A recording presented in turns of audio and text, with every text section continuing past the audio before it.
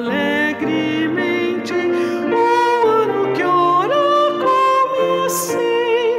Guia-me com mão clara.